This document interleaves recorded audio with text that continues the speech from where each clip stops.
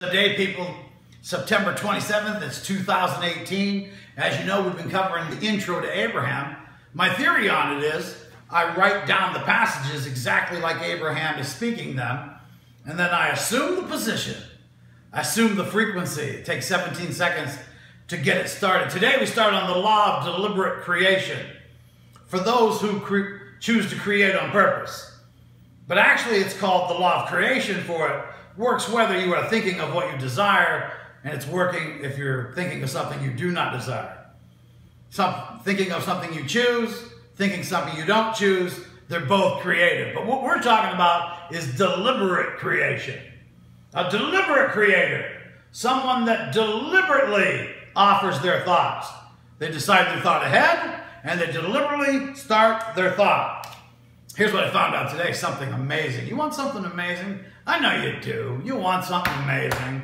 How's that thymus gland been going? You got that going? This is amazing right here. You come from the land of the absolute, you take a physical body, and you get one choice, and you get one choice only. And that choice is the direction of your thought. Think about it for a second. You only get one choice here. The direction of my thought. Now the law of creation goes to work on whatever you're thinking about. And there are two parts to remember. The launching of the creation with emotion. How you launch a creation is you desire something. You want improvement. You don't have to concern yourself anymore with what you're choosing. You can skip that. You're done. You've done the launching. But the second part is the expecting or the allowing, the receiving, that which is launched. There's going to be a time gap between your choices or launching of the rockets, that's what they call it, and the receiving or what they call the manifestation. Now, if you're using the power of your thought to prepave or set into motion, thought into advance of what you choose, as you are walking into your space and time, into your now, you will not have so much action to take to get things the way that you're desiring them. And less action will become very pleasant to you. You have intended action, it's part of the game, but you did not intend to do your creating through action. You intended to create your reality through your thinking and then to enjoy it with your action. Keeps coming back to what am I thinking? You want to get a good skill? Get a hold of your thoughts. What am I thinking about? To slow down your thinking, stop talking for a while. Slows down the thinking, and then you can place what you want in there written word for word from Intro to Abraham. As you set forth thought in advance with emotion, you've launched your creation. Now your job is to walk through space and time toward the time in the future, knowing you activated it. You know you activated it. You know it'll be there. You know how it goes. You know the rules of the game. Then we say to you, from that joyful creation that you have launched into your future, you'll be inspired to take the action that is action and joy. Let's cover it again. When you activate things from the angel or the angle that's already on the big board, it's on the big board of options, it's on the scenes, every scene is selected that you select comes from that scene board. Every ending has been already written. And when your angle is, I can just activate this and then stop thinking about it and then walk through space and time, we like to say that space and time. Have you ever said it? Time and space.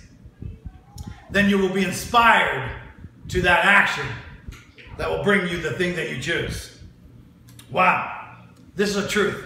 This is what they said. When you take action now, and it's not action and joy, it's our absolute promise to you that it will not lead to a happy ending. It cannot. It defies law.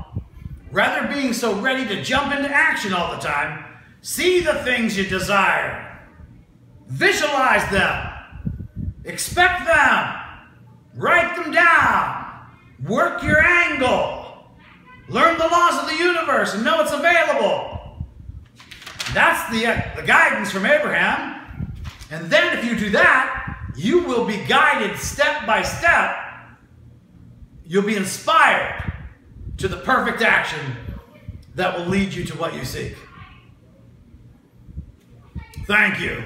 That was very clear. We're going to cover the law of allowing next. From the intro to Abraham, word for word, the law of allowing. Key. We have put the law of allowing in this order. First is law of attraction. You got to know that. You got to know how you're getting what you're getting. You have to have law of attraction in place to get these other laws. You know the law of attraction. You're in charge of everything. You're the cause of everything. You made it that way. That takes a while.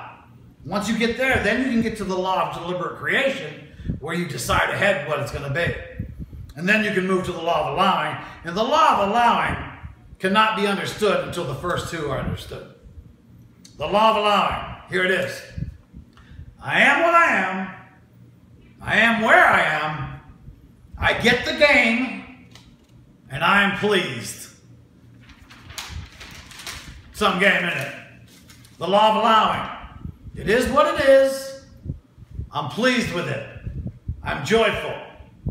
Because if you're working on yourself, you're receiving new information every day. And today's guy has more information than yesterday's guy. Today's guy knows more than he did. So he's pleased where he is. He gets the game. Because I am able to focus on what I desire, I have the power. The inner guidance system will notify you of your level of allowing. If you're working on allowing, work in the minus and the plus. Minus means no.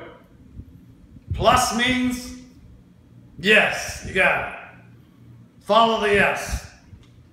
When you do not allow another, when you farm someone else's land, you will get a minus. This game is easy if you can farm your own land. It's just another reminder. It's not a big deal. Everybody does it. Right now, people are farming Money Mayweather's land. Who's in the news? Let's farm Donald Trump's land.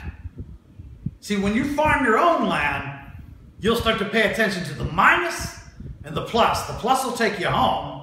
The minus will take you away from home. Choose your words by the plus topics by the plus. Mind your own business. Have you ever heard this terminology? Mind your own beeswax. You have to mind your own business to get in the game. Get in the game five minutes. It's none of your business. Your business is the lower choosing the higher. Lower reconnecting to the higher. Purpose, that's all that is. You have to spend every moment doing it. There is no room to farm Beyonce's land. If you like it, you should have put a ring on it. Intro to Abraham, written word for word so that I can assume the frequency. Think about it. Abraham's talking, a channeled, non-physical energy, and I'm writing the words down, and it takes time to do it. I wrote down, when you are not understanding how something is coming, then you're fearful of it. It took me about 20 seconds to do that. My attention's on Abraham. My focus is on Abraham. Law of attraction kicks in. Think about the statement. When you're not understanding how you're getting what you're getting, you live in fear. So the law of attraction is very important. What happens when you learn the law of attraction, the new person says, I've heard of the law of attraction, I watched The Secret.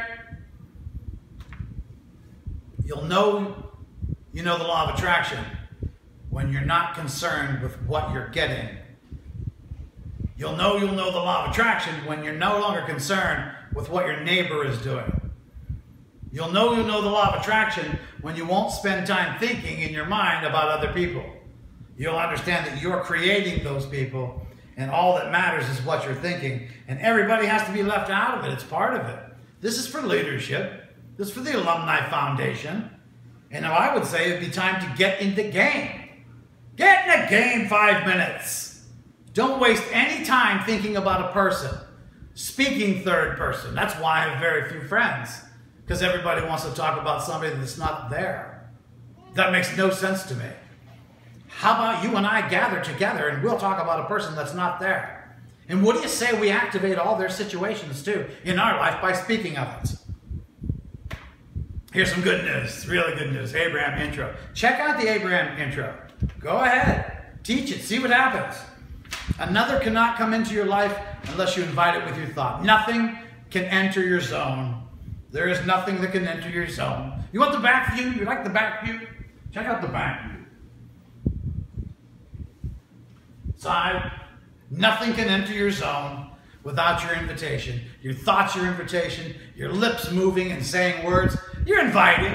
Your actions, they're inviting. You're continually inviting. Why would you invite something you don't want? Because you don't know you're doing it. That's why you train yourself to make feeling good number one and then begin to follow your feelings. Follow the plus, get rid of the minus. Notice the minus and turn it to a plus.